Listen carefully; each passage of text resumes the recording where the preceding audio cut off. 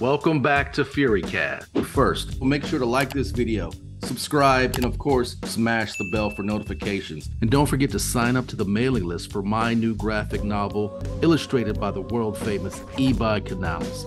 Sign up now. The link is in the description. My guest today has been doing stand up comedy for over 20 years. He's toured with bands such as the Newsboys, Third Day, and Mercy Me. He's also authored three books and a podcast under the brand he created and calls The Adventures of Average Boy. Please welcome my friend, Bob Smiley.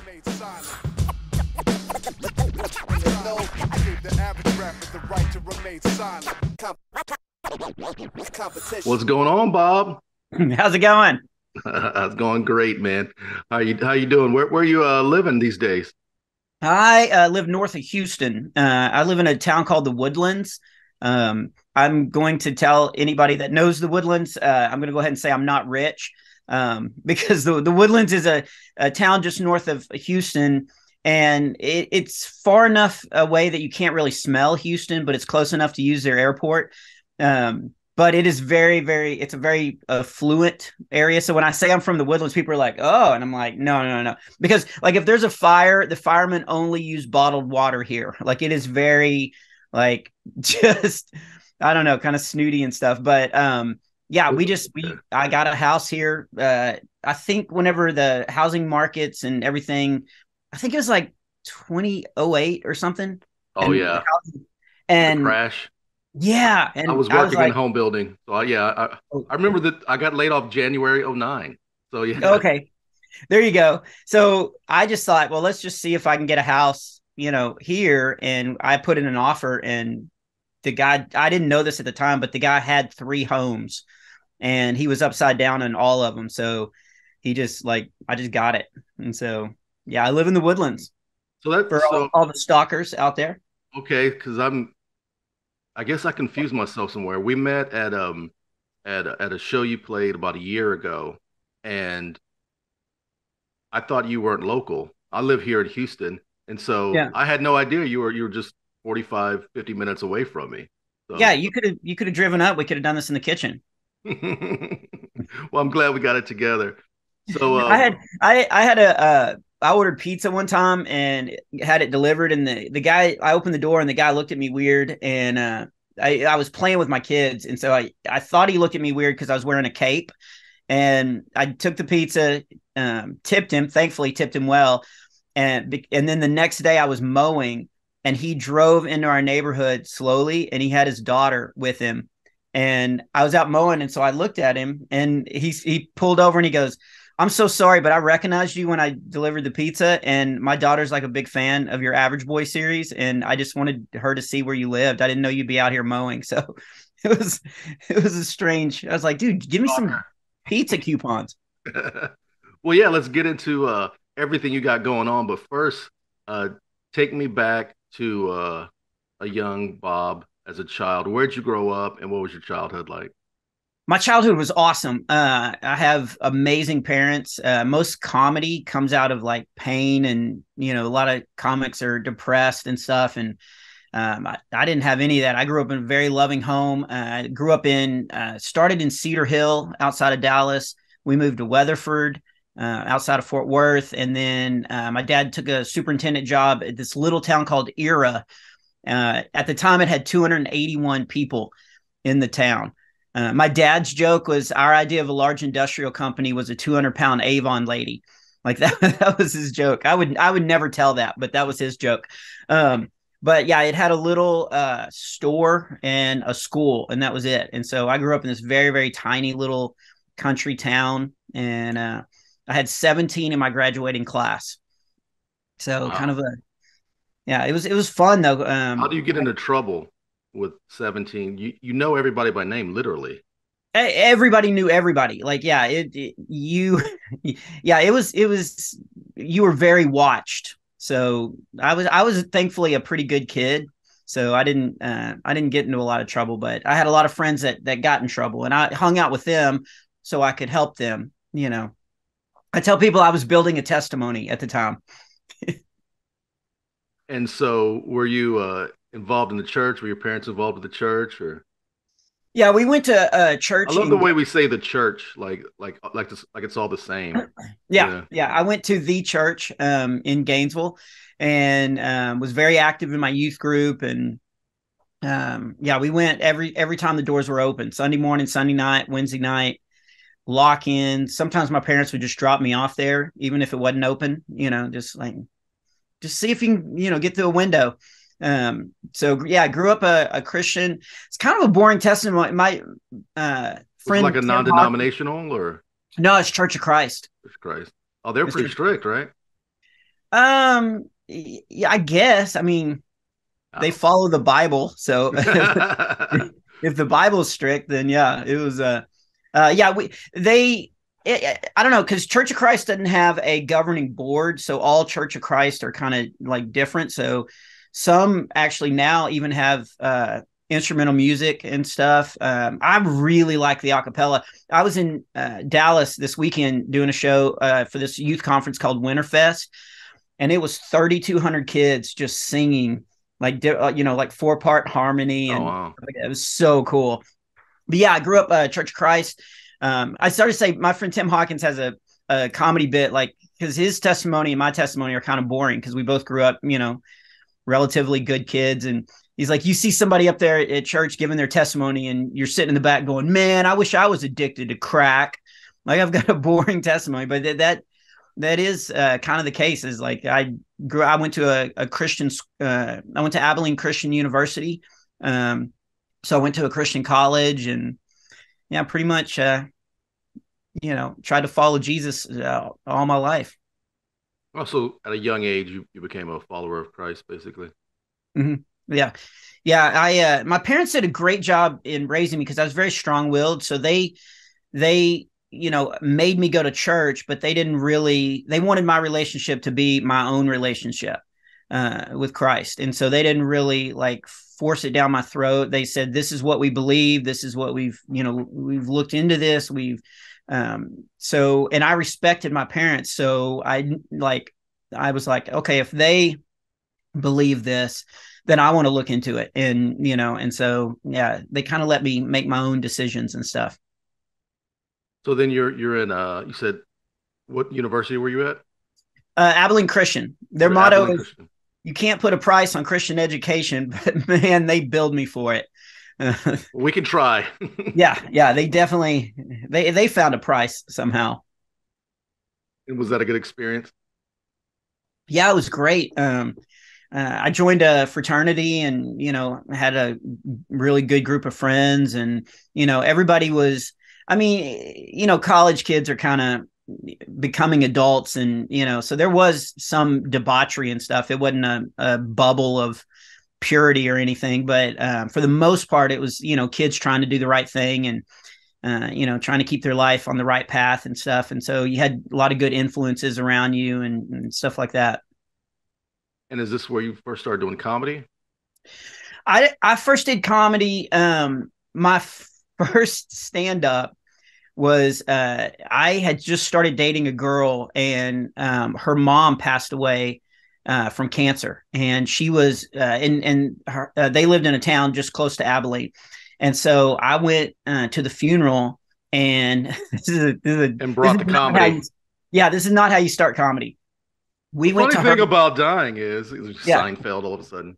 Yeah, yeah, exactly. Um, they uh so afterwards we went to uh her youth groups uh her youth leader's house. And uh, like all the kids came over and, and we're hanging out. And her youth leader came over to me and said uh, all right everybody's in the living room. I'm going to get up and uh, make some remarks. And then we just need like 10 minutes or something like that. And i was like 10, 10 minutes what? And he said oh, stand up. And i was like i i don't do stand up and he goes no no i've heard you're like super funny like it, it'll be great and then he just walked uh, out to the living room and introduced me And so I just let me like, let me back up. Let me back. yeah. Basically, you're at this is after the funeral, so this is after mm-hmm. she's in the ground. Yeah. Okay, the worst possible time. Um, worst people are, are crying, and she was a beloved woman, like an amazing woman. And and you've you know, never done stand up. Never done stand up. And is it amazing to you how like people do this with creative things like they all they think it's all easy. Oh, mm-hmm. I've heard you make people laugh. Go give me go give me a tight 10.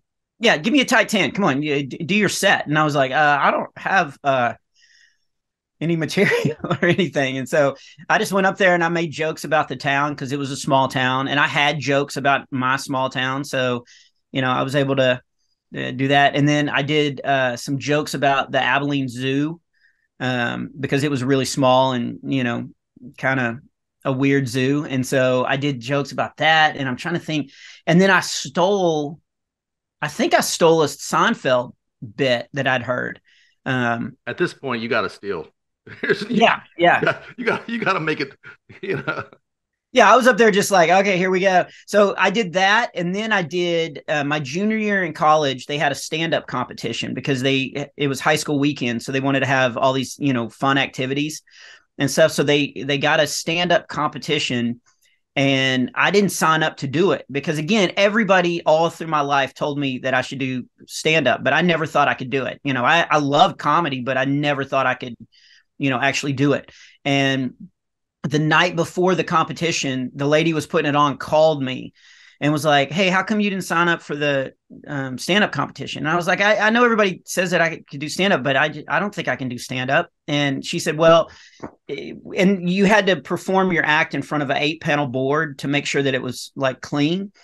And I was like, "I'm definitely not doing that, standing in front of eight people and you know trying to do a bit to to pass on to the competition like auditioning for snl or something yeah yeah it was like i just it was never something that i thought i, I could do. And she was very diplomatic about her phrasing. Because i was known as being really cheap on um, campus.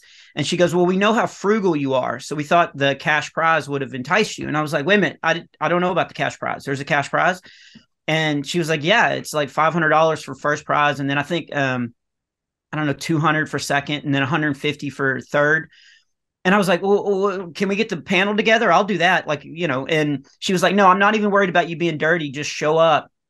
And she actually, I said, how many comics were you wanting to have? And she said, well, we wanted 10, but we have, if you'll, if you'll do it, we'll have nine.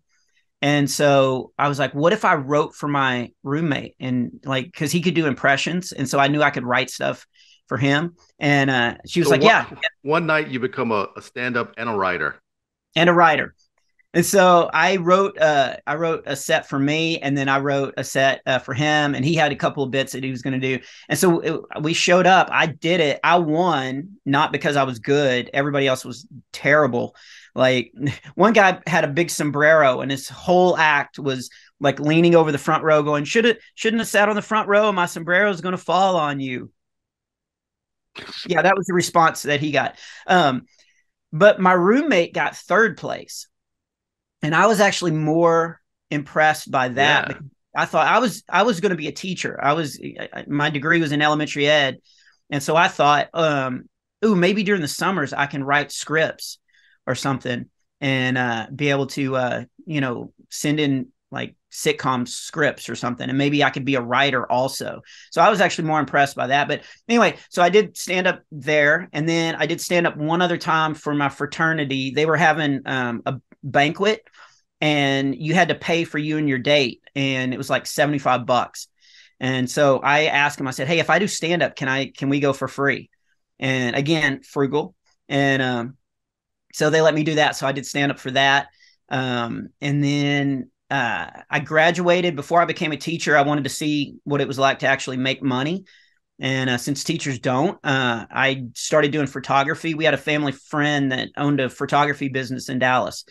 And so I did that, and I was going to do that for like a year, um, kind of, you know, I'd be debt free and, you know, kind of have a little nest egg and, and stuff. And because I'm very anti debt. And so I was doing that, and I was driving on 635, this freeway in Dallas. This is going to tell everybody how old I am, but my pager went off. I made that kind of money. And um, yeah. And I looked and it was area code 615, which I didn't know was Nashville, but I pulled over at a Cracker Barrel payphone and called this number. And this guy was like, Hey, um, my name's Rick Wooten. And uh, uh, we hung out in college and I'm road managing a guy named Clay Cross. And we're about to leave for tour and Clay's a singer. And uh, we're uh, we just had a meeting, and Clay said it'd be fun to have a comedian come out and kind of keep the crowd entertained and stuff. And he said, I saw you do that stand up competition our junior year, and I thought you were good. Um, so I've got to hire a guy to do merch, you know, to to set up the merch table and sell merch uh, during the the show on the tour. Um, so we can pay you for that, but really we want you out on tour to do stand up and keep the crowd entertained and stuff. Um, so he goes, Do you want to go on tour? So I'd done stand up three times in my life, and I'm standing at a Cracker Barrel payphone, and I'm like, How long's the tour? And he told me, and I was like, Okay, you know, I was so flippant about it. I didn't know it was about to completely change my life. And so I flew to Nashville, got off a plane, got on a tour bus, and went out as a comedian which is not how you do it. it. Kids come to my shows and they'll come up afterwards and they're like, I want to be a comedian. How do I do it? And I'm like, do a stand up competition your junior year in college and wait for somebody to call you. Duh. You know, which is not how you do it. So it's easy. That's how, you don't have to, you don't have to hit the road for like 10, 15 years. Yeah. So, so what was that tour like? It was baptism by fire. Like it, um, and Clay had these moving lights that kept breaking. And so every time they would break, they would send me up to stall. And so that's where I learned how to do crowd work. And that's where I had I learned how whenever I got to the town, I would look around and start writing bits about the town. So I, you know, so there'd be local humor for the crowd and stuff like that. But it was, man, there were there were some rough nights of just up there. And I did a I did a merch pitch where I wore all the shirts on stage and I would take them off one by one. And I had jokes that I'd written for each one. Like Anointed was a, a band that was traveling with us. And so they just had a shirt that had a big A on it. So I'd, you know, I'd go, Anointed has a shirt with a big A on it. Some of you college kids, it's your only chance to get an A you better take advantage of it. You know, just dumb stuff like that. But the crowd loved it. And I would take the shirts off one by one. And I can't believe I got away with this, but I would actually stop about halfway through and I'd go, by the way, I want to point out I am the only Christian stripper uh, working on tour. But with a body like mine, girls usually chant, put it on, put it on, you know. Like I would do jokes like that. And uh, so I just, man, I was just out there just learning, trying to stay alive. I honestly thought I would go out for a week and then they would just send me home you know? Really? So i thought well, i'll go out and try this and i'll get to you know be on a tour bus for a week and you know until i get fired. And uh, so i did that and then uh, the newsboys saw me and Uh-oh, they asked- for those for the uninitiated in christendom he's dropping big names now. Newsboys. Now was this they've changed singers so much but was this back in the day with their original singer and the the the drummer in the cage and all that stuff they used to do yeah, it was um, John James was the front man. Um, Peter Furler was actually on drums, but then he would come out and sing uh, some songs. So it was before Peter even like took over. Uh, it was back then. It was called the Take Me to Your Leader tour, and so it was it was an awesome. It's probably one of the best shows I've ever seen. Like they had spaceships that they would um, lower themselves down on the um, stage, and they had these glasses with lights on them, so they'd be looking around in this you know pitch black arena and you'd see these like alien eyes looking and the spaceships would come down and they would get off the spaceships and the spaceships would then turn up and become video screens. And yeah the the tour was and it was crazy because again i grew up in a town with 281 people in it and now i'm standing in front of four or five thousand people a night pretending i'm a comedian you know just trying to keep the crowd entertained well, how did that happen? How what was the divine connect on that? What do you mean? How did you get that gig?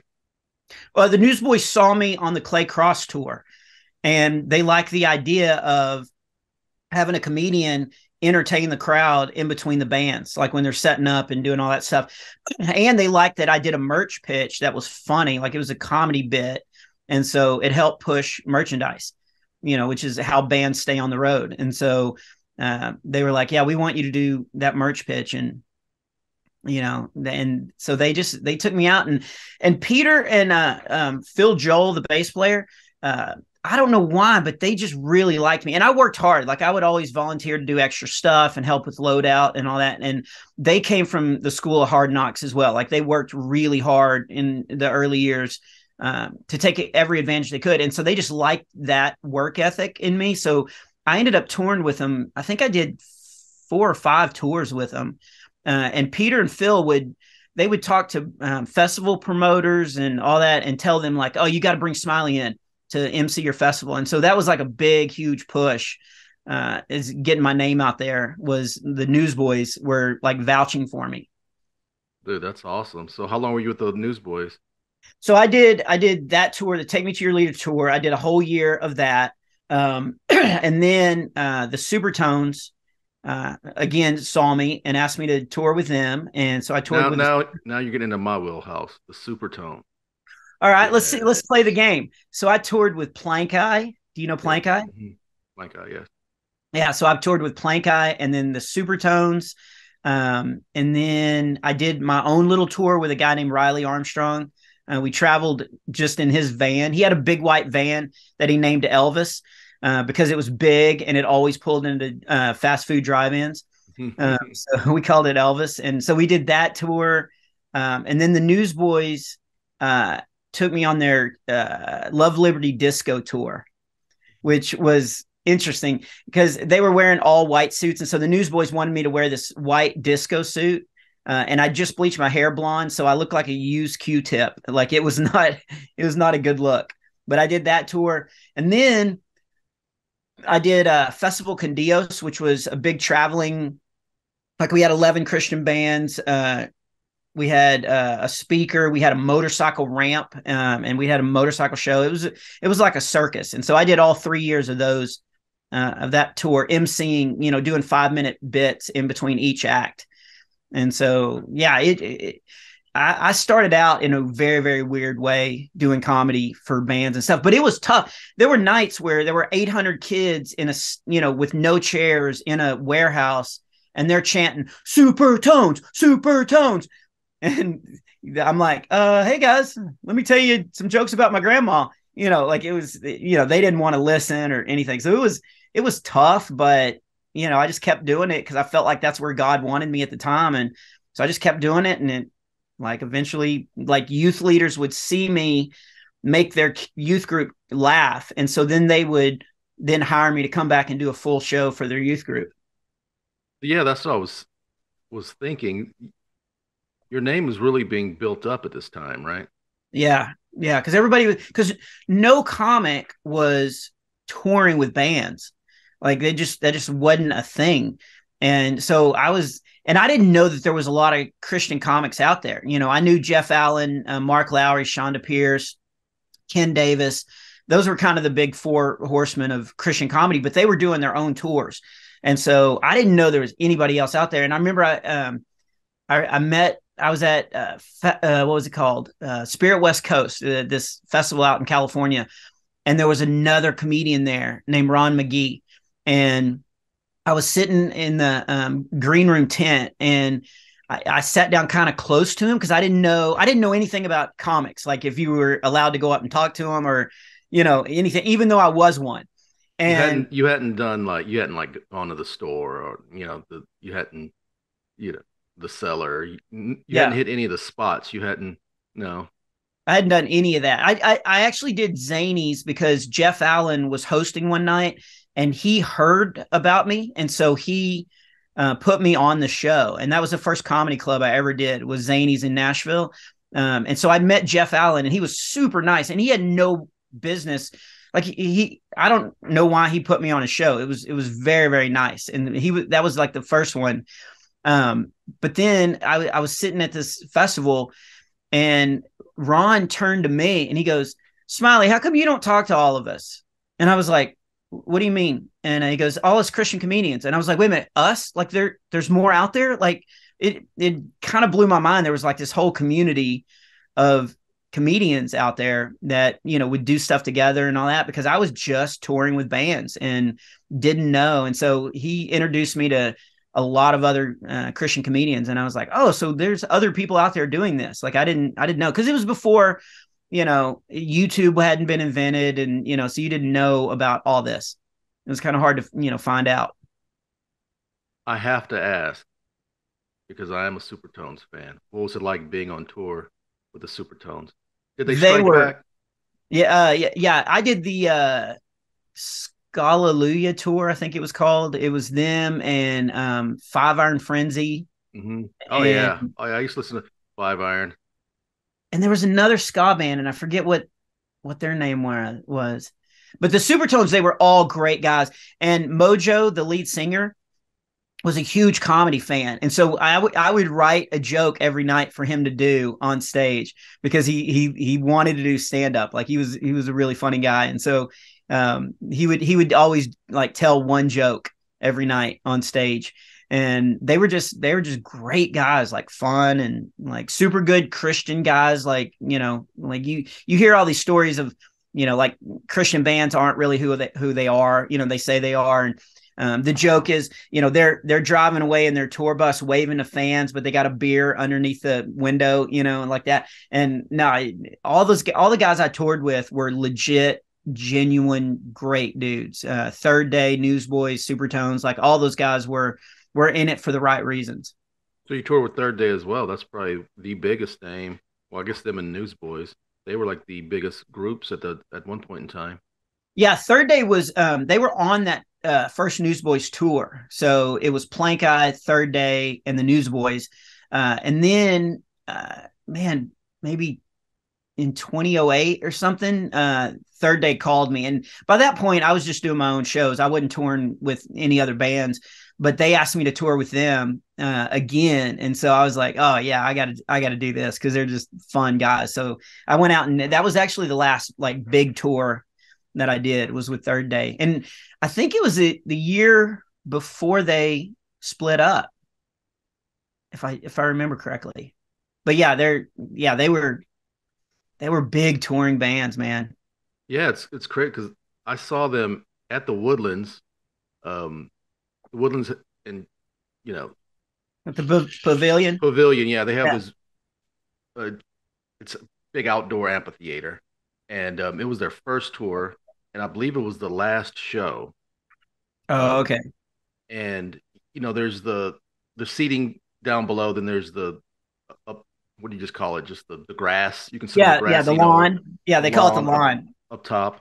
Um, and um, we were down below in the good seats, and it wasn't even half full. And I remember the lead singer coming out just thanking everybody for coming, saying, "Hey, this is the biggest crowd we've had all all tour."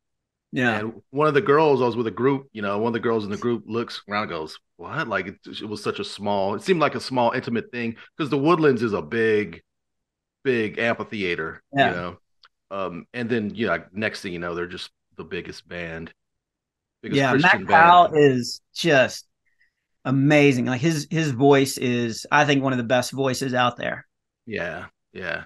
Is, what is he? Is he? Uh, still singing? I thought he had some problems with his throat or something. Or no, that was Mark Stuart um, okay. from Audio A. Yeah, okay, he, he, lost his voice, and um, so no, Mac.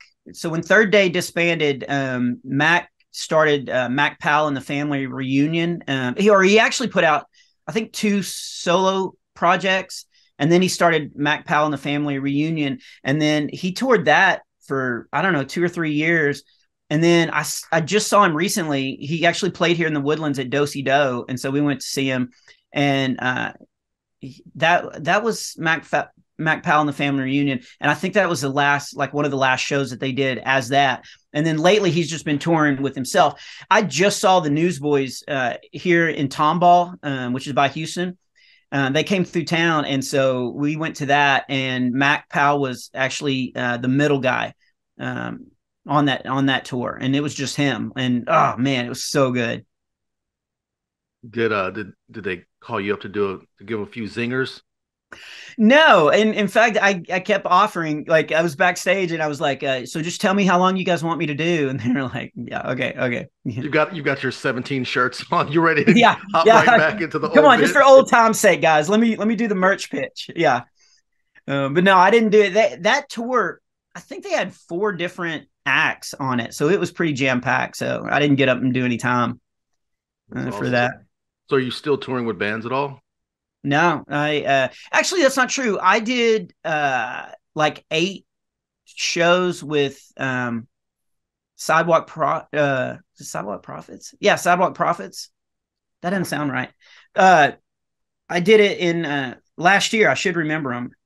Um, sounds sounds.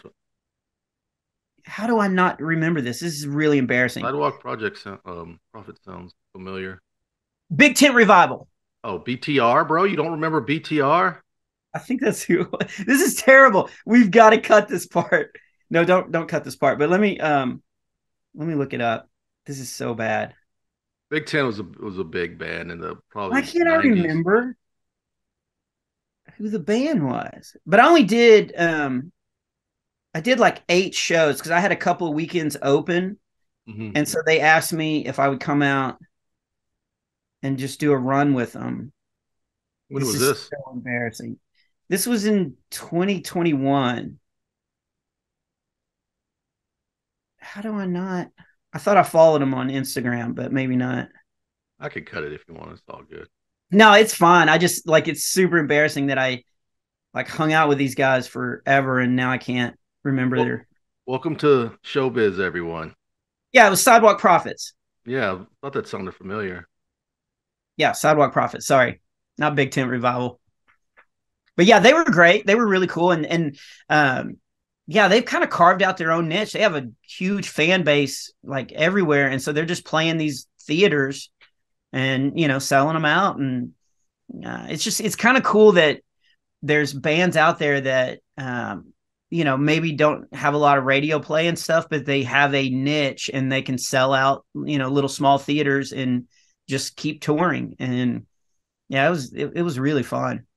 And it was a new group. Like like it was a whole new fan base for me that you know didn't know who i was.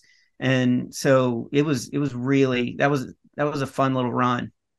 Are they on, on the christian market or are they mm-hmm. quote unquote secular?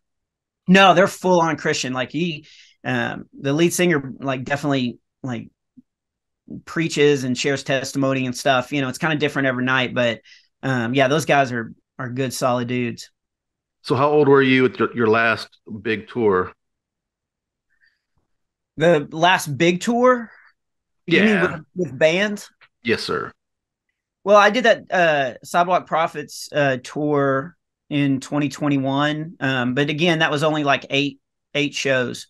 Um, it was just like two weekends, and um, then I did the third day one in I think it was like 08 or no, no, no. It must have been like 2012 or I don't know. I'm really it all muddles together. This is my 25th year doing this. And so it just all muddles together. That's what I was wondering. So at that point when you transitioned from playing primarily with bands, um you'd been doing stand up for how long at that point? 20 years? Well, I quit touring with bands um it, it, it's kind of hard to to have a definite time of saying okay this is when i quit because I would I was doing my own shows even like whenever I was touring when I was doing the Love Liberty Disco tour or Festival Con Dios like I would go out and do their spring tour but then I would do all summer dates you know just my own shows.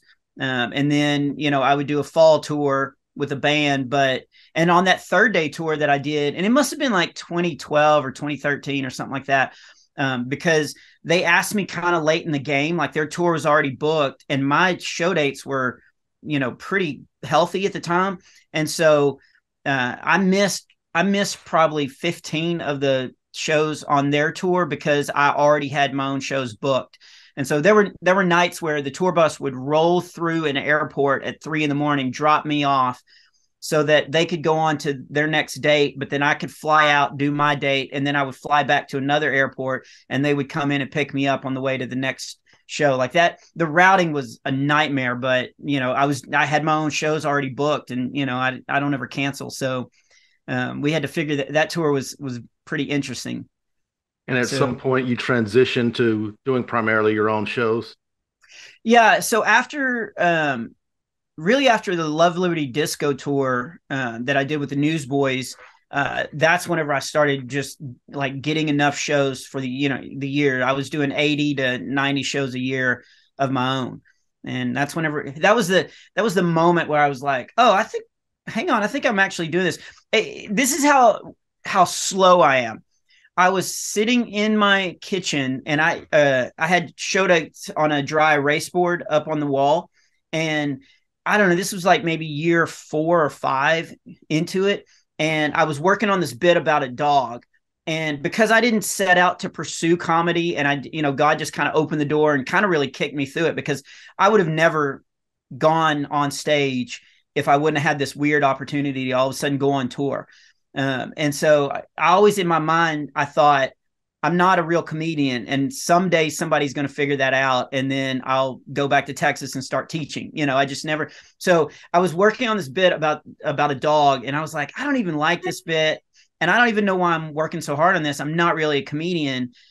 Um, and I looked up at the dry erase board to see how many show dates I had to see like how long I was going to be a comedian for. And this is how slow I am. I looked up and I realized that I had like 60 shows booked for that year. And that was my light bulb moment of like, oh, I'm actually doing this. Like this is like I'm paying the bills and I have a ton of shows. I I guess I'm a comedian. You know, that was the moment I was like, okay, this this is actually working. You know, I just never thought because I just stayed busy and stayed on tours and would go out and do my own shows and stuff. And I never really sat down and thought, uh, man, I'm gonna I'm gonna make it as a comedian. You know, I just kept doing it, and uh, God kept opening the doors. What you talked about um, briefly was that imposter syndrome. That um, if you have that, generally you're not an imposter. generally, you're doing it. It's the people yeah, I worry about that that think you know they've already arrived and haven't. You know. Yeah, there's um whenever because I I will mentor uh some some comedians that are just starting out and I always I always start by asking them how much how much time can you do on stage, and if the comedian says, "Oh, I can do forty five minutes or an hour," and they're just starting out, then I know they have this false confidence that you know they think they can do forty five minutes an hour. And if a comedian goes, "Oh, I've I've got about ten minutes of good stuff," then I'm like, "Oh, this guy's gonna make it because he's yeah. you know he's he's realistic about what he can do. Because when you first start everybody's terrible you know everybody's just really it, it takes a long time to actually figure it out. And um so are you doing um non-christian? Are you doing like club the club circuit at all um, not a lot. Like I, I will do some comedy clubs if it just works out, like with the routing and and all that. But most, I would say, eighty percent of the shows that I do are in churches and are for everybody, for families and stuff. Um, I'm doing this. This I don't know when this is going to come out, but um, this Friday I'm in uh, Ord, Nebraska, and I'm doing a theater. So it's just a theater that you know they just do a, a ticketed event and uh, they're just doing a comedy show for the for the town, and um, so I, I do some some theaters. Uh, I don't do a lot of corporate events just because I don't like I book myself. Like I just I like that personal interaction, and thankfully I get enough show offers that I don't need a booking agent, so I don't have to also pay you know twenty five percent um, to a booking agent. But um, so I don't have a booking agent that books me for corporate events, and uh, generally, corporate events they go through booking agents. So I don't do a lot of corporate events. I'm, i do maybe two or three a year, and usually it's like a Christmas banquet or you know something like that. Uh, but yeah, most most of my shows are in churches. Have you ever done any of the the Christian comedy tours? Um, well, I tour with uh, Hawkins a lot, like Tim Hawkins. Is that what you mean? Like just where? yeah, you know, they'll they'll get three, you know, uh, Christian comedians, and um, you know, like tour the churches. Yeah, um, Ken Kington used to uh, book the Ultimate Comedy Tour, and uh, he brought me and, and Hawkins out, and uh, we did like tons of shows together um, back then. And yeah, it's it's actually rare that a church brings in more than one comedian. Like if they bring in a comedian, they don't usually bring in two or three, but that does happen every once in a while. So I've done shows with Robert G. Lee and um, Kerri Pomarolli, and you know, every once in a while they'll bring in two or you know, sometimes three. Uh, also, my friend Cleto Rodriguez, uh, he's got a club in uh, San Antonio, and so every once in a while I'll go do that, and uh, you know, it's kind of fun because you get to hang out with other comedians and stuff. When you do the the churches, do you ever start with like a church people joke? You might be a Christian if you might, yeah. No, I try to. That's the thing. My my show that I do in the comedy club is my show that I do in churches. Like it's, um, yeah, I don't. I people always hear the word Christian comedian and they think, uh, oh yeah, it's going to be a flannel graph or puppets or you know like it. And so we we try to stay away from like cheesy stuff. We're trying to raise the bar. So when people hear Christian comedian, they think, oh, this is going to be good and it's going to be clean. And so yeah, I I try to. Yeah, I don't. I don't just change stuff instead of uh, two lawyers walking to a bar. It's two deacons. You know, I don't. I don't do stuff like that. Got any road stories? Any any, any anything interesting that anecdote that's happened along the way? Oh, uh, you want to hear horrible road gig stories? Yes, yes, I'd love to actually. So, okay, one, one of the worst was I was doing this uh, big youth event, like a festival thing, and they had about 800 kids in a tent during the summer, so it was hot. They didn't have chairs, so everybody was sitting on the ground and there was a girl that was uh, like on the second row. They were all just kind of crammed in there, but um, she was sitting and she just wouldn't quit talking. She just kept shouting out stuff to me. And so finally, I was like, I ignored her at first, but then I was like, okay, I've got to shut her down. And so I turned and I can't remember what I said, but and it wasn't super mean, but it just was kind of let her know, hey, let me do my show, you know, quit trying to wreck it. And so I said something and I later found out that she was bipolar. And her youth leader was right there and he he didn't stop her or say anything. But so I said something and she burst out crying and she stood up because everybody was sitting on the on the ground and she stood up and she was like you're the worst person in the world i can't believe you hurt my feelings like and then she started making her way to the back of the exit but here's the thing because everybody was just sitting on the ground. She had to step over people. So it took her about four minutes. And the whole time she's going, You're horrible. Excuse me. Can I? I just need to step over here. You aren't even a Christian. You are. I can you guys move over just a little bit so I can get like, and it was just, it was the absolute worst. It was just terrible. I did a, um, I did a event where they hired me. They had a racetrack and they um it was a just uh, like a a race a race car track like um you know NASCAR but it was like a local thing um and they hired me they put the stage in the middle of the racetrack so the crowd was about 100 yards away from me that's horrible so you couldn't you couldn't even hear and they wanted me to do stand up the cars would come by and the crowd would cheer and then they wanted me to do stand up while the cars you're were lying no you're lying no you're lying to me, bro. No, it was the worst. And it was because they had a budget and they wanted to try it. And, you know, I don't say no to gigs because, you know, I've got five kids to support. And so I did that. I did a um I did a show one time, a Super Bowl youth group party where they had the Super Bowl on the a huge screen on the stage, but they didn't want the kids watching the commercials. And so they didn't want them watching, you know, the Budweiser frogs and stuff. And so they hired me to do stand up when the commercials popped up. But they didn't even turn the screen off. They just muted the commercial. So the kids are watching these Budweiser frogs in, behind me while I'm up there. And you can't time it. Like, so I would jump up and be in the middle of, of a bit.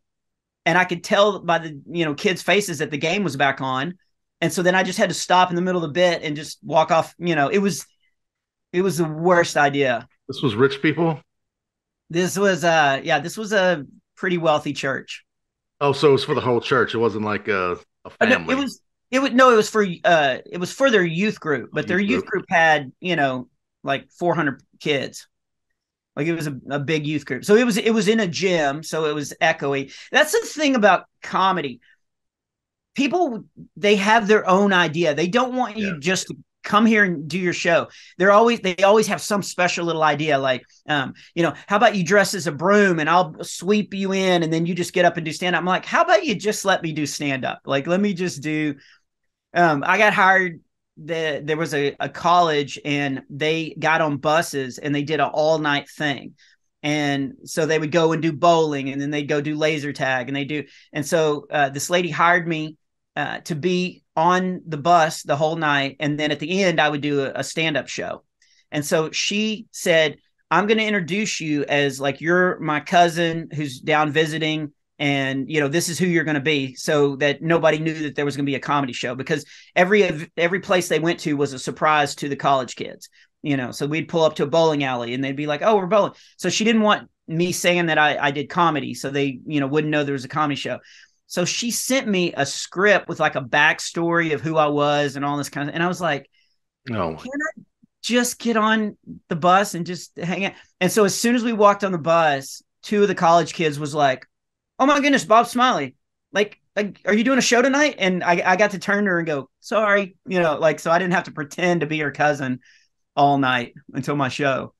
So, yeah, people, yeah. people do this crazy thing where it's like, um, and I really, I, I spend so much time, you know, because I'm a filmmaker and I, you know, did hip hop, Christian hip hop for years, and it's just dealing with people and their um, presumptions of yeah. of of being creative and that they can just hop in and be and they're going to add to it. You're not a creative person but you're going to add to the creativity.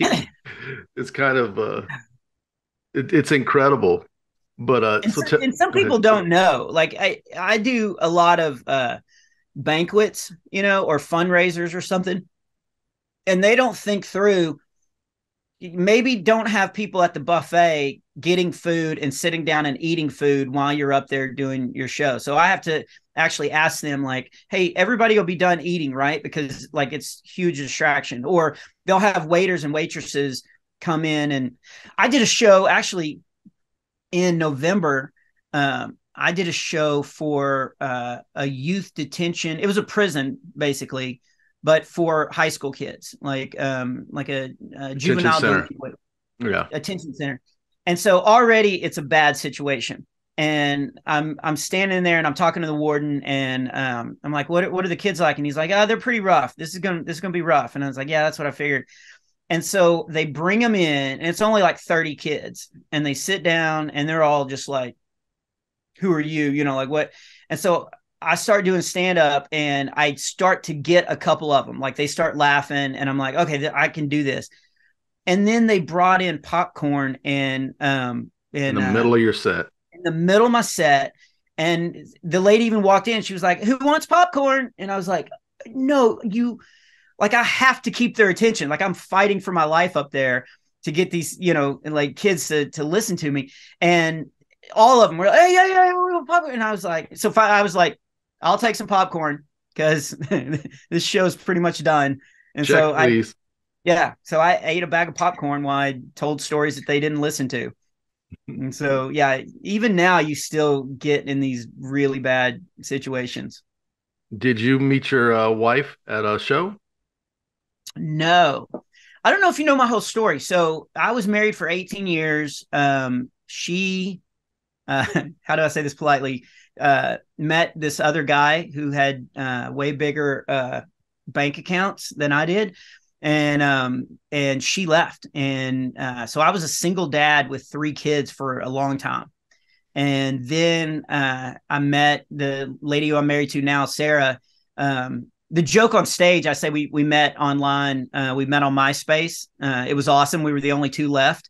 Um, that's the joke. But the real story is like we did. We met on a dating app, and uh yeah she i was on this dating app because it was so much entertainment because the stuff that people would write about themselves and all this stuff it really was just comedy and i would get all these you know i would get some people who knew me i remember one lady she messaged me and she was like oh my goodness i didn't know you were single um now and uh if we go out can i bring my kids to the date because they're like super big fans. I was like, oh my goodness, this is gonna be this is gonna be interesting. So um so I really wasn't dating a lot and um I opened up my app one day. Just I'd landed, and I, it was just fun to open up the app and like read all these crazy like profile pics and uh, profile, you know, things that people write about. And um, and I I had messages, and usually the messages are like "sup" or you know, "oh, I saw you at a show" or whatever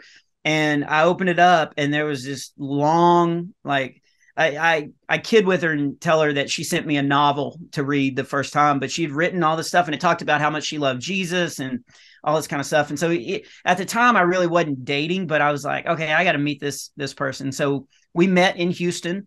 Uh, we had a lunch date, and uh, it just Where, where'd y'all it. go? What restaurant y'all go to? This is terrible, but I cannot remember where we went. Um, I don't go to Houston a lot. Like I stay out of the um, downtown, and uh, so I don't know the restaurants real. And it wasn't a, a chain. It wasn't like you know. Mm-hmm like Whataburger or something like that. It was like a um, place. She remembers. She's going to get mad if she listens to this. And like, how can you not remember the first place that we? Um, but it had some weird like French name or something like that.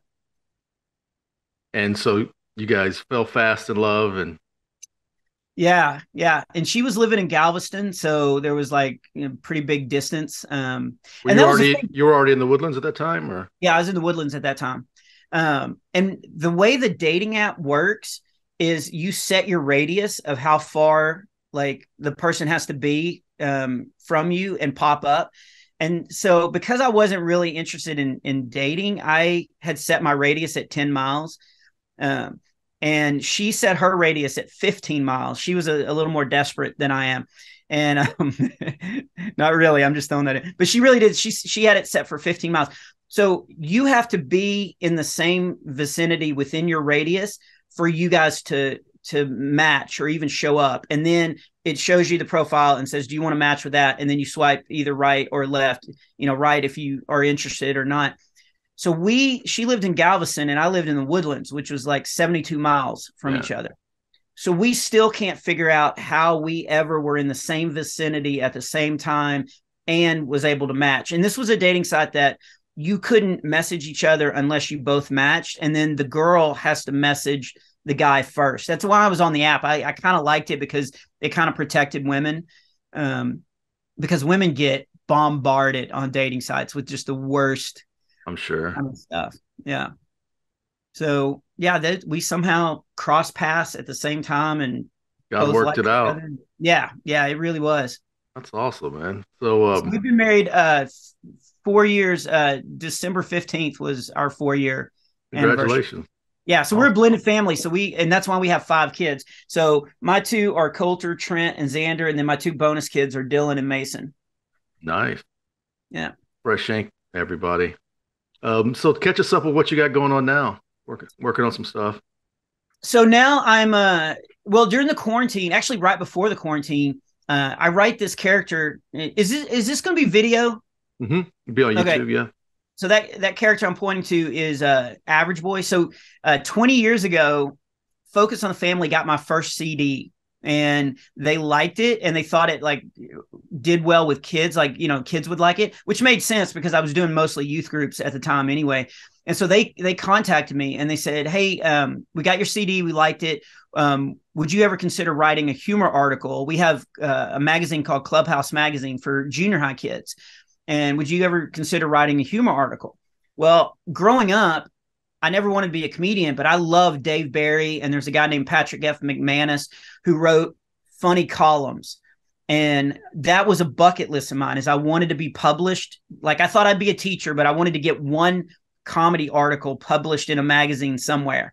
And so they contacted me and I was like, yeah, I'd love to do that. So uh, it was for their back to school issue. I wrote a, a true story about me getting a really bad haircut right before going back to school but as I was writing it, I thought of a cell phone joke, and it it was a it worked really well with the story. But I didn't have cell phones when I was a kid, so obviously it couldn't be me.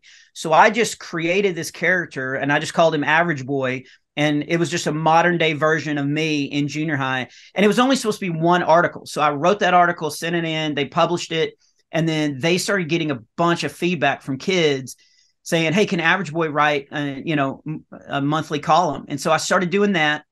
And then I wrote two comedy devotion books as Average Boy for middle school kids, and those books sold really well. And um, so the month before everything shut down, like before COVID, you know, like just shut everything down, Focus on the Family contacted me and they said, "Hey, um, would you consider doing an average boy podcast? And you you do the voice of average boy on the podcast and it would be for families to listen to. We'd keep it short so it was like 20 minutes long uh, for you know for families to listen to on the way to church or to school and stuff like that. And we didn't know if it would work or if people would listen to it. And so I agreed to do 13 episodes uh, for free just to see how it would go. And so we we recorded 13 episodes. We put them out, you know, wherever people get podcasts, and it blew up. And then of course the quarantine hit, oh, yeah. and everybody was was at home, and so the Average Boy podcast. So that's what I'm doing now. Is a, a lot of my time when I'm not on the road is uh, I'm still writing for Clubhouse Magazine, a monthly article. Um, I put out a third Average Boy book. Uh, it's not a comedy devotion book. It's just a a fiction comedy book. Like it's like Diary of a Wimpy Kid. Um, it's just about average boy going to a new school, but there's a lot of moral stuff in there. Like he has to deal with some bullies and some stuff like that. But it's just like a comedy book. Uh, it's called Average Boys Above Average Year. So I wrote that during the quarantine. That book uh, is out now. I do the Average Boy podcast, and so uh, yeah, this it's kind of funny. Average Boy has kind of turned in its own separate career. So I do that, and uh, then just out traveling and doing shows. Now I'm currently working um, of course, I've done the movie Lion Killer, which is behind me, and my short films, and uh, I'm currently working on a on a my first graphic novel. Have you ever thought about doing a average boy comic book? It seems like that medium would would lend well to that character.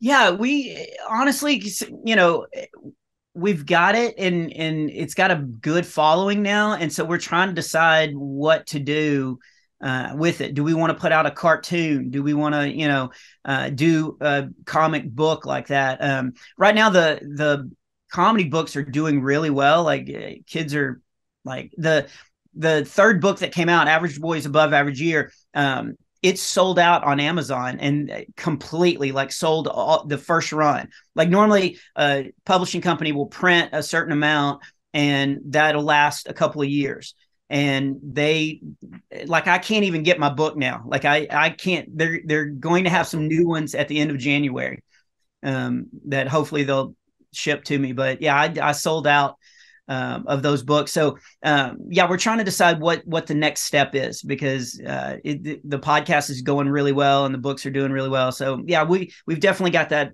you know in the idea folder. Yeah, it seems like seems like you could do a lot with that character, and uh, yeah, that's awesome. It's doing so well. So yeah. tell me 25 years in the biz. Is it has it been 25? Uh 25, yeah. 25 years in the biz. Um walking as a Christian most of your life, divorced, remarried. What's the big lessons you've learned? One of them um I actually got this from Hawkins um because Tim Hawkins was the first guy I called when I kind of figured out what all was going on and I knew my world was about to crash and all this kind of stuff. And I called him and uh, explained what was going on. And um, he gave me the best advice. He said, Don't go through this alone. Um, and then, of course, he made a joke. He said, You can call my butler anytime. Uh, that you need to talk to somebody, but um, but he said don't go through it alone, and and I think that's the one of the biggest lessons that I learned was God has built us for community, and you know that's why the pandemic was so bad for people and, and we need to be invested in each other's lives. And you know we need to just be open and vulnerable and and really share what's going on. And you know there's so much the pandemic was so bad. There's so much depression and people dealing with stuff and all that. And i just feel like we're all built for community and we need to you know have each other's backs and checking in with each other and stuff like that. So that's that's been a, a, a great lesson uh, probably you know one of the most important ones. So I would get the kids to school, and then I would just sit in an empty house, and I could just feel this cloud of depression like coming over me. And I'd pick up the phone and I'd call you know Hawkins or I'd call you know Daren Streblow or you know some of my comedy friends, and uh, that really helped me get through that that rough time. Um, and then the other other lesson I guess I would share with people is that God can use you wherever you're at.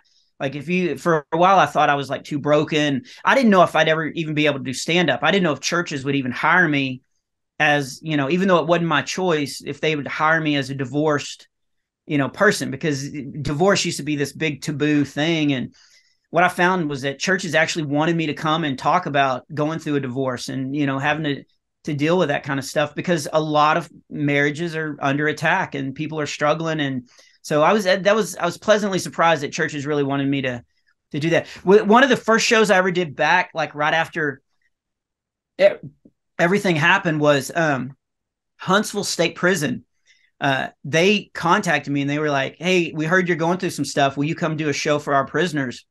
And I had never been to a prison, and you know, I was at the lowest point of my life, and I I agreed to do it, and I went there, and it I went to encourage them, and I left being so encouraged. Like they were they were so great, and I remember um I used to I used to do this bit about my voice being high, and so the joke is um you know i'm the protector of my family. So if uh, if you were a burglar breaking in downstairs and i was at the top of the stairs would this scare you? And then i lean over and i go you better not be down there. Like that's a joke. And it gets it gets a big laugh. And well i didn't think through my show. I just got up and started doing a show for the prisoners. And i actually said to a room full of prisoners pretend you're a burglar breaking in downstairs.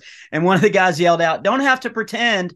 And so it was great. And i got to like make them laugh and realize that god could still use me even in a you know in the place that i was at you know really kind of broken and everything and that god could still use me to bring some laughter and joy and encouragement. I got to talk about jesus uh, to these prisoners although uh, halfway through i kind of ruined it because i remember the guy that um, my ex is married to now uh, at the time he lived up near Huntsville. And so I shouldn't have done this, but I said to I said to the prisoners, by the way, if any of you are getting out soon, um, I would love to share an address with you. So and afterwards they I, I brought my oldest son with me because I thought it'd be good for him to see. And they all, you know, got up and hugged me and thanked me for coming and thanked my son for coming. And one guy leaned in and he goes, Seriously, all I need is that dude's name. And I, yeah. So I gave it to him.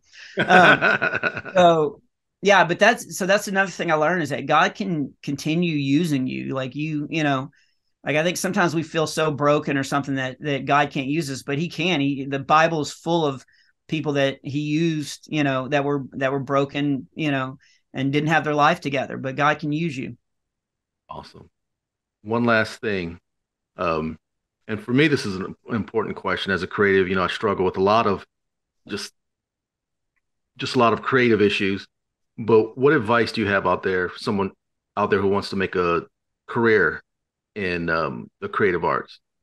So I'll I'll tie this all back to Seinfeld again. Um, Seinfeld was in his apartment and uh, he was looking out. He was in New York and he was looking out and he was supposed to be writing, you know, working on his act.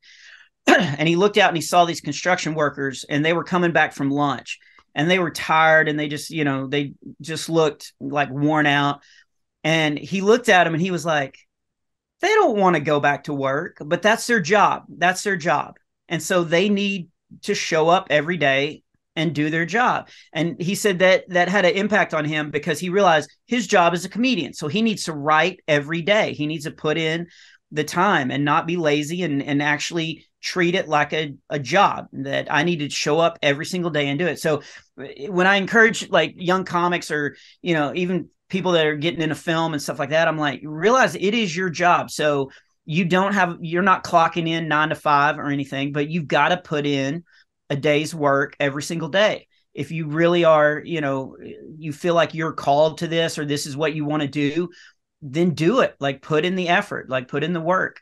And so that's, I'd always encourage, I always tell people that are wanting to get into comedy, write every single day. Even if you don't feel funny, just sit down and write because you never know if you know when the creative you know process is going to all of a sudden explode and you've got to sit down and and and try to do it every single day and you'll be surprised at stuff you'll write that you don't think is good that you can then go back and look at it and be like oh no you know you can think of a tagline or something how to punch it up and and it actually works out so yeah show up every day and do it well thank you for your time bob i appreciate it it was it was not only insightful it was encouraging and very funny um, I'll put all your links in the description. And um, man, if you're ever in the Houston area, hit me up. We'll go have a cup of coffee or something, man.